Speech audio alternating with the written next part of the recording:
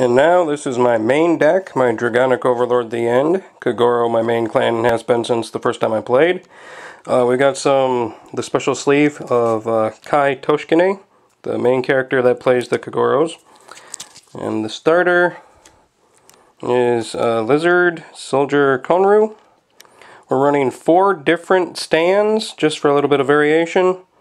Five total crit, three draw, four heal, G1 lineup is uh, the Dragon Mage, 4 Gojo, 4 Bahr, a uh, prom yeah, Flames of Promise Aermo, just because it boosts Overlords real nice, and 3 Bari.